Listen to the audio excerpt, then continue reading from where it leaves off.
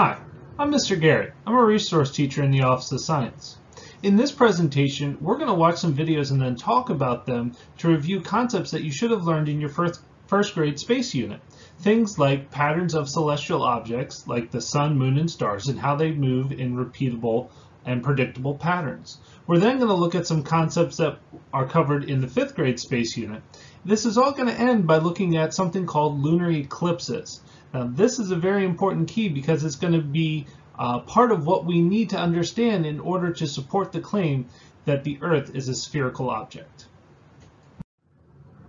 Okay, so as we watch this first video clip, what I want you to really pay attention for and be thinking about is, what is the difference between rotation and revolution? What does that have to do with how the Earth moves and the moon moves? What does it have to do with celestial objects moving in space? Pay attention to the concept of time. Where do we get a year? Where do we get a day? What, what are those? Okay, what determines them? What are some of the patterns of the sun and moon that we can observe?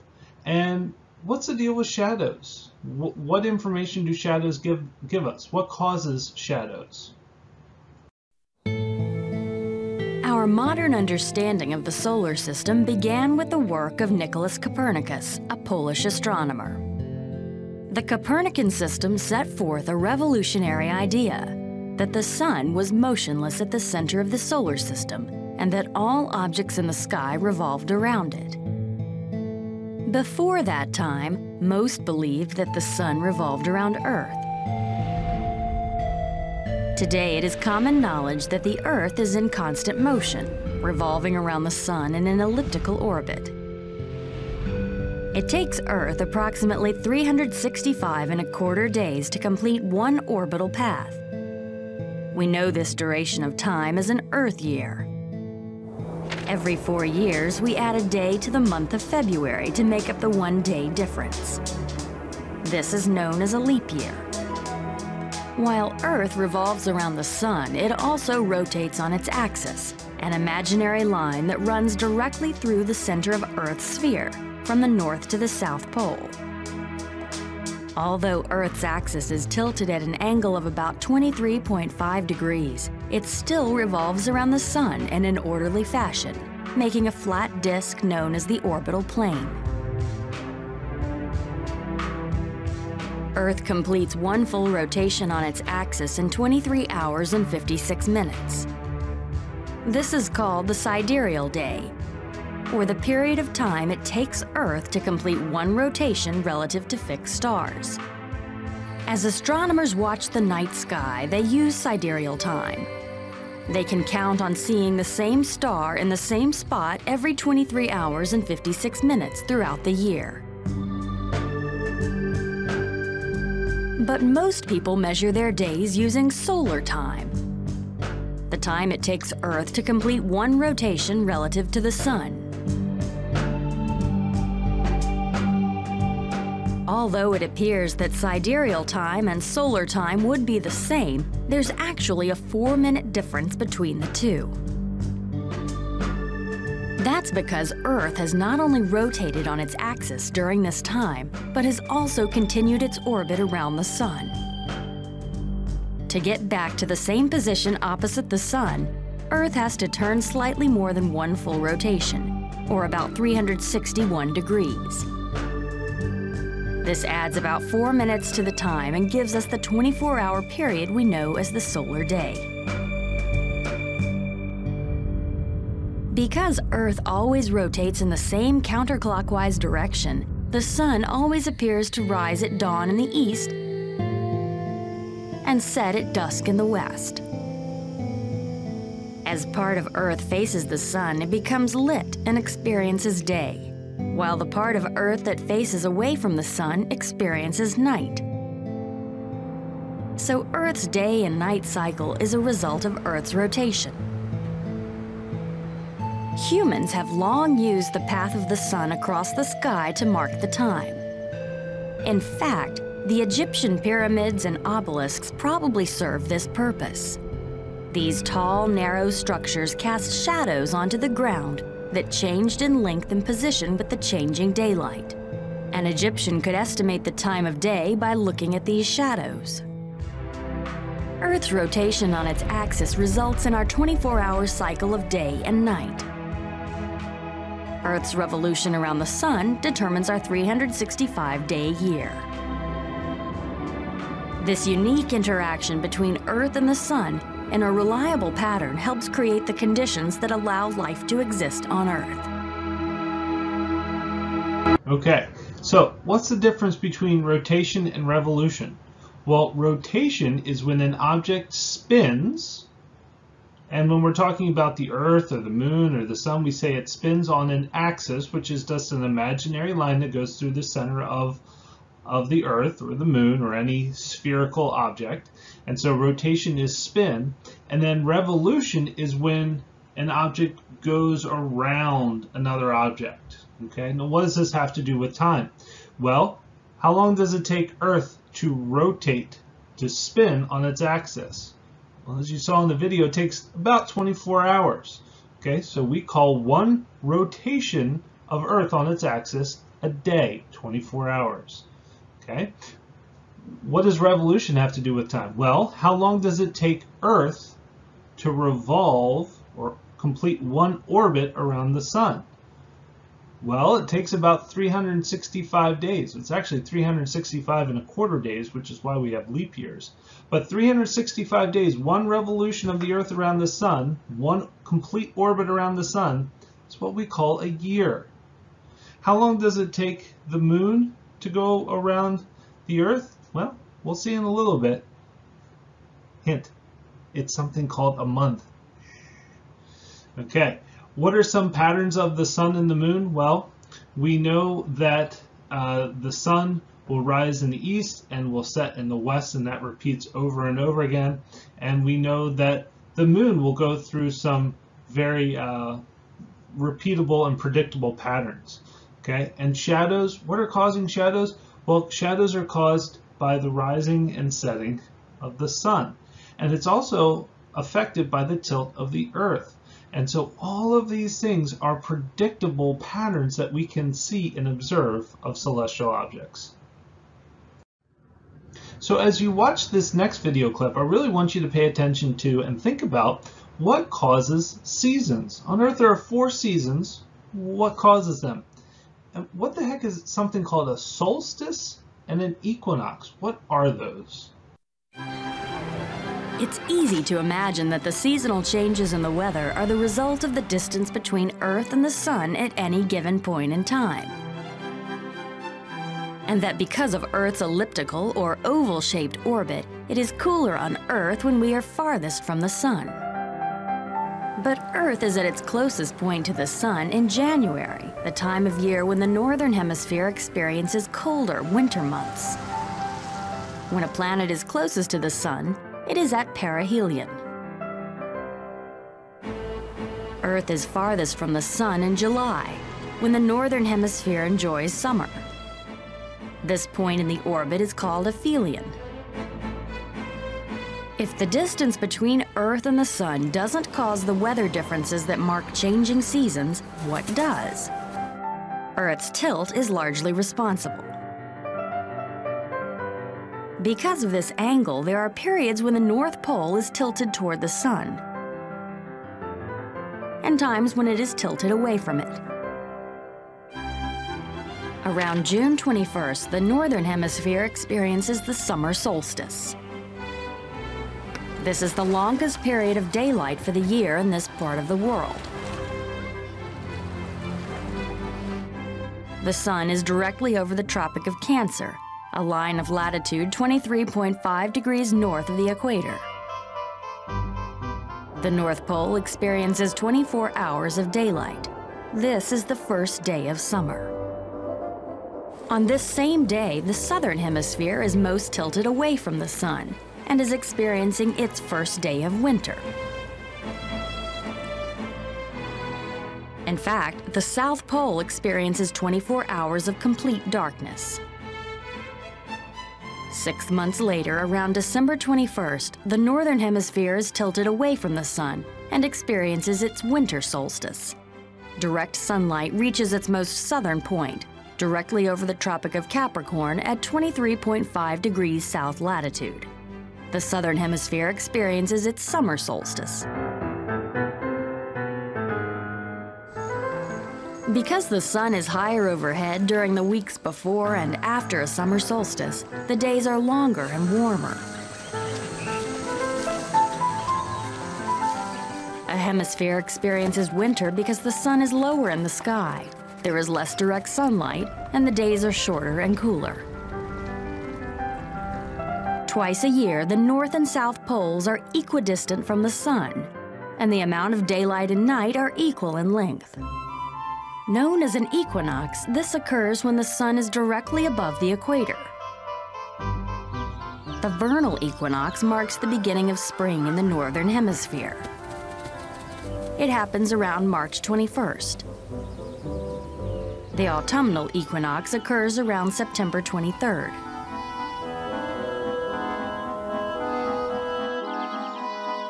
Days and nights at the equator are always about 12 hours long. The farther north or south you travel from the equator, the more obvious the lengthening and shortening of days becomes. In far northern latitudes, including parts of Alaska, some areas spend two months around the winter solstice in darkness. The sun never rises. But in the period around the summer solstice, the sun never sets. Seasons vary depending on where you live, but they are all determined by the tilt of the Earth.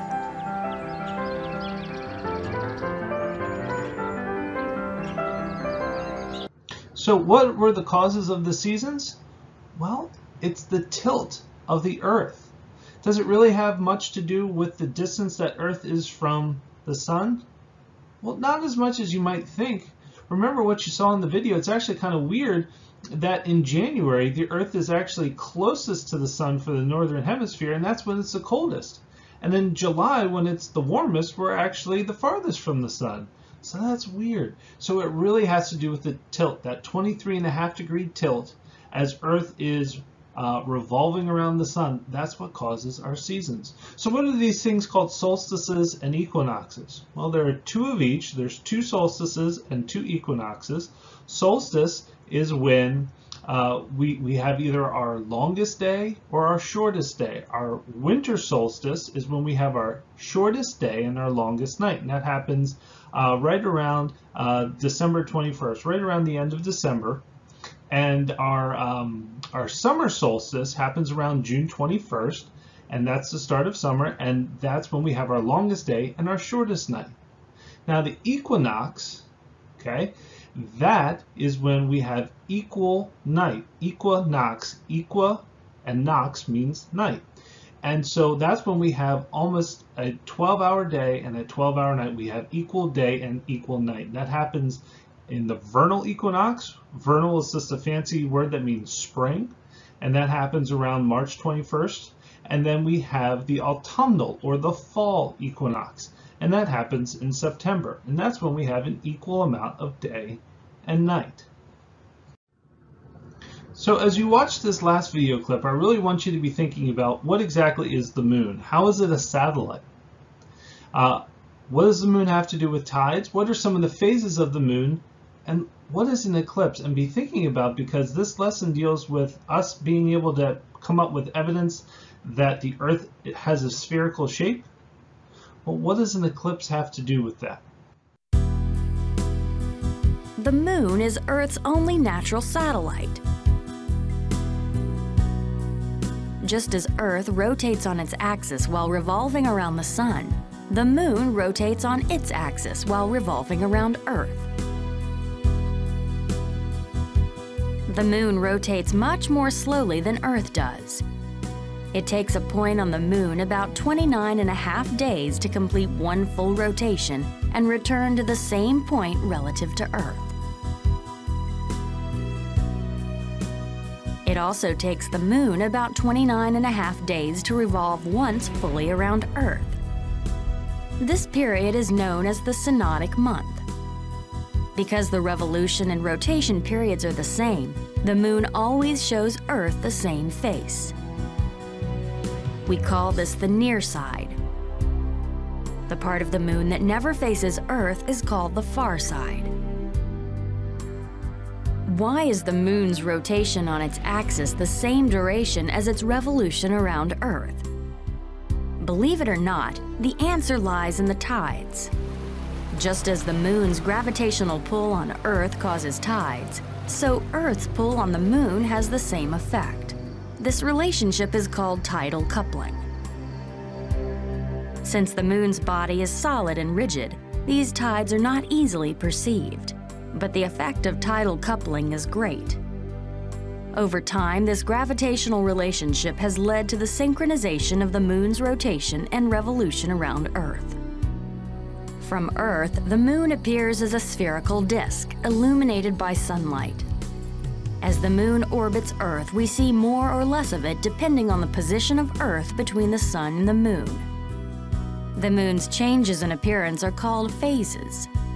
When the moon is between Earth and the sun, the near side of the moon receives no light and cannot be seen. We call this the new moon. The moon's appearance continues to change, from just barely visible to partially illuminated to fully illuminated. When Earth is between the sun and the moon, the near side is fully lit and is known as the full moon. Then the cycle reverses. Each lunar cycle lasts 29 and a half days. Sometimes one celestial body obscures another. This event is known as an eclipse. A lunar eclipse occurs when Earth comes between the Sun and the full moon. A lunar eclipse only occurs when the moon is full. In essence, Earth casts its shadow onto the moon and blocks all sunlight from reaching it. When the moon is totally eclipsed, it can turn deep orange or red in color. The dust and clouds in Earth's atmosphere cause this reddish hue, just like they cause the colors of a sunset. If Earth had no atmosphere, an eclipsed moon would always appear black. Other celestial bodies can also have eclipses, such as when Mercury blocked out a portion of the Sun on May 7, 2003.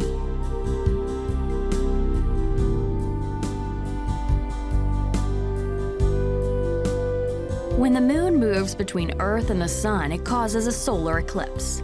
The moon blocks some or all of the Sun's light from hitting part of Earth.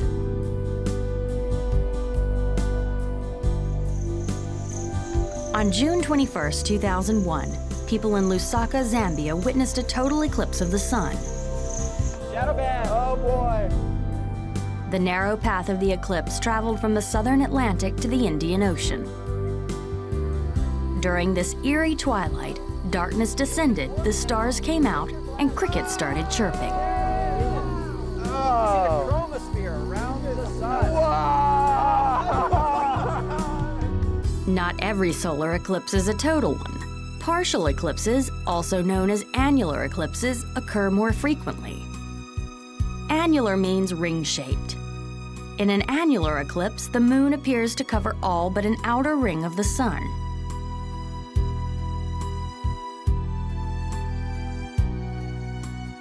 Solar eclipses offer us a unique glimpse at the sun. With the majority of the light blocked, we can see features such as the glowing corona and fiery prominences.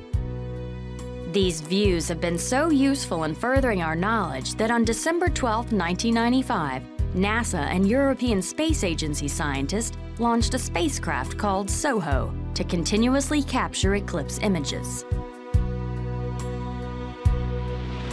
The gravity between the Sun, Moon, and Earth maintains a system of orbits and rotations. Understanding the relationships of the Sun, Earth, Moon system offers insight into everything from the phases of the Moon to the seasons of Earth. Now that you've watched the video, you know that the moon is Earth's only natural satellite. A satellite is just a term we use for an object that orbits or revolves around another object. And so the moon is really the only natural satellite that we have. Okay. Now, what does it have to do with tides? Well, we're learning about gravity. That's what this whole mini unit is about. And uh, anything that has mass, anything that's made up of stuff, okay, has gravity. And because Earth and the Moon are really big, they have a lot of gravity. Now, the Moon is smaller than Earth, but it's still really big. It's a lot bigger than you and I are. And it has gravity. And so Earth and the Moon are pulling on each other. And so what happens when the Moon pulls on Earth, water is able to move. And so when the water moves toward the, the moon, we have high tide, and when it moves away, we have low tide. Okay, we have about two uh, tides a, a, day, two high tides a day, rather. Uh, moon phases. Okay, well, what are the phases of the moon? Well, we're not going to go into every one of them, but the phases of the moon, we start with the full moon, where you can see the whole uh, front near side of the moon, and then it waxes, or excuse me, it wanes, which means it gets smaller and smaller until we get to a crescent moon. And then eventually it goes to a new moon where we can't see the moon at all. And then it waxes, which means it's getting bigger and bigger and bigger until we get back to the full moon. And this takes about a month. Okay, so that's called a lunar cycle or the phases of the moon. And then eclipse. Well, the eclipse is when the Earth's shadow partially or completely blocks the light of the sun. So Earth's shadow is going across the moon. And so we see that from Earth. And what's really important about that is when we look at that, we see a curved line as it starts to go across the moon.